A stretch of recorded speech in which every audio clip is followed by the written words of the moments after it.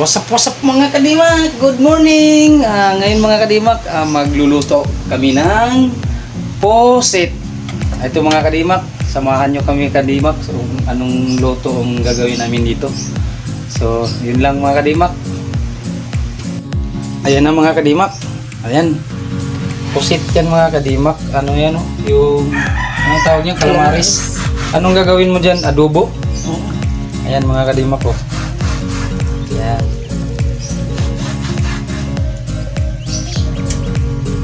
Adobong pusit.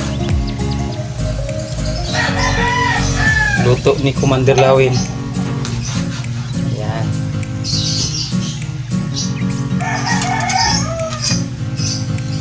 Yan, lilinisan muna ni Mrs. yung pusit. Tinatanggal yung laman loob.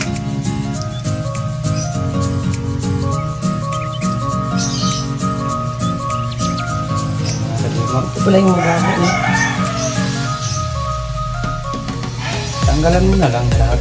Laman. Hindi, hindi mo isasama ko. So ayan mga kadimak. Ang ang ricado niya mga kadimak ito lang. Ibuhos na yan. Ayan mga kadimak. Ayan.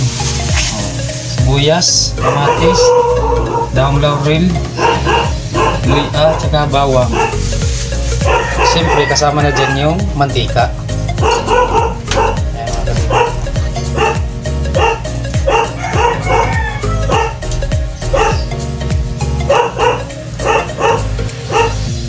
adobong pusit.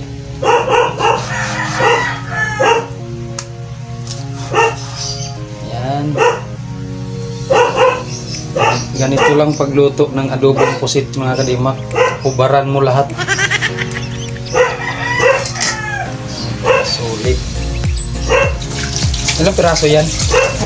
Wala. Yan, tatlo. Sarap dito mga kadimak. Yan, tanggalan mo lang ng uso. Ang uso, ngipin. Yan. Linis na linis mga kadimak. Kasi mga maarting kumakain. ah.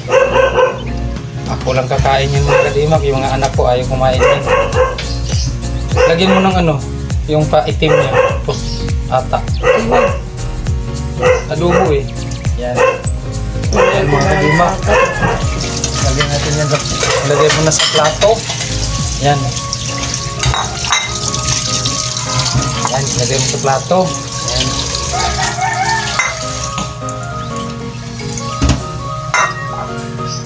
Simpleng pag-adobo lang mga kadimak sa pusit.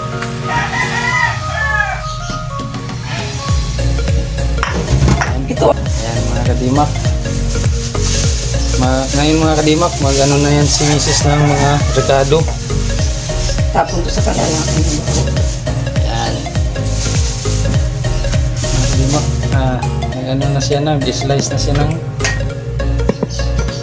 nag-i-slice na siya ng mga rekado.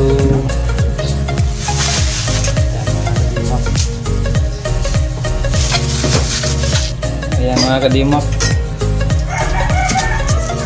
Ayan. Kamatis, bawang, at saka luya, sibuyas, sibuyas. So ayan lang mga kadimak ang simpleng pagluluto ng ano.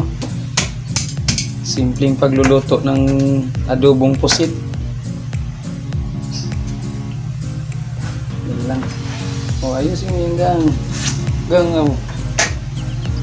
Ayan. Yung gangaw. Yan.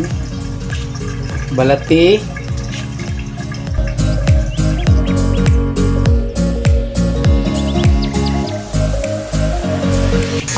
Ang luya. Lalagyan ng luya para mabango. Uy, ito mga ulam. Oh, tuwang-tuwa yung bunso ko mga kadimak. Nakaluto na ro siya ng kanin. Oh, kaway-kaway bunso.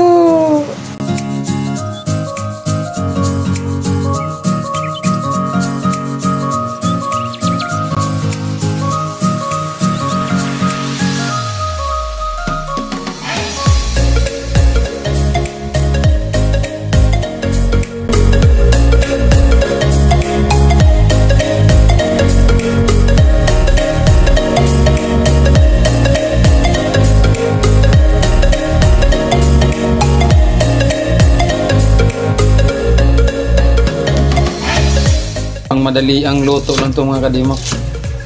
Grabe ka naman, di naman. Ah, di ba?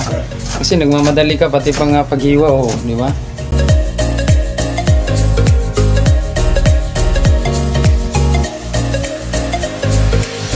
So ayan mga kadimak, nag-init na siya ng kawali. Mantika. ah. Iyos na yan.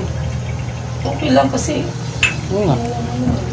Ayan mga kadimak, nag-init na siya ng kawali. At ang susunod nandiyan mga Ricardo, gigisahin niya muna.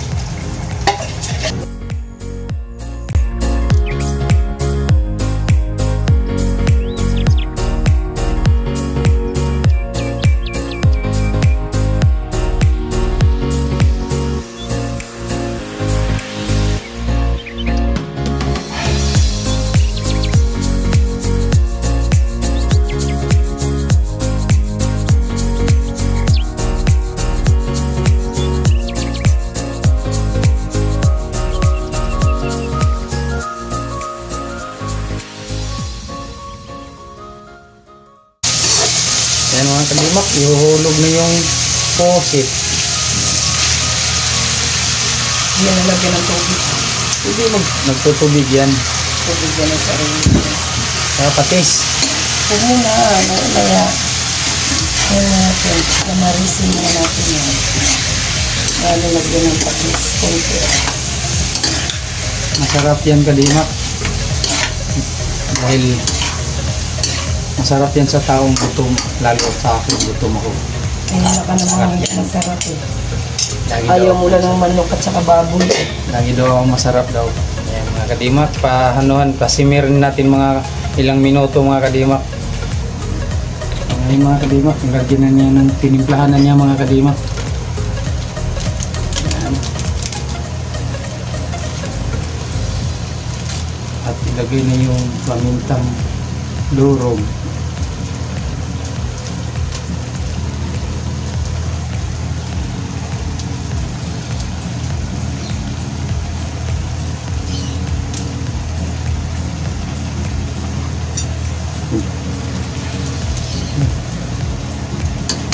Tikman mo.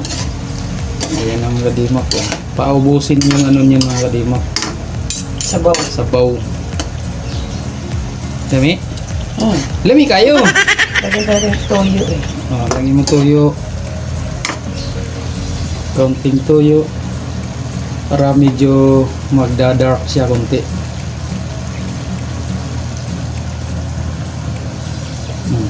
Kaunti ba yan o isang bote? Kunti lang. Ah, kaunti lang pala. Kasi matabang eh. Yan. Sabay halo-halo.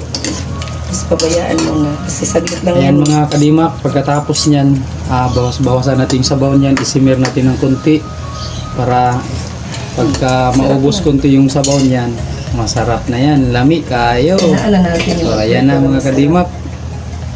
Sinimir na.